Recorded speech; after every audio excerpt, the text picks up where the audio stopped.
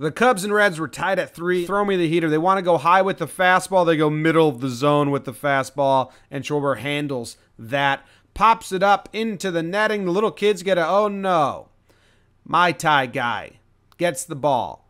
Kids were about to get a cool souvenir. This guy not excited. Fuck, just lost the game. This guy excited, just won the game. Looks at the dugout. Hell yeah. Says, yeah, oh yeah. It's my time. And then Rizzo's going to get to punching. He likes throwing some jabs at the guys who walk it off. Oh, yeah. Throwing some lefts. Throwing some lefts.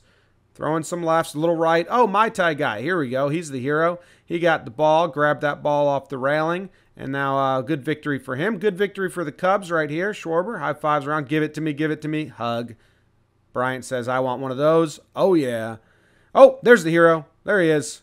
True hero. My tie guy. High fives all around over here. Maddon gets a high five.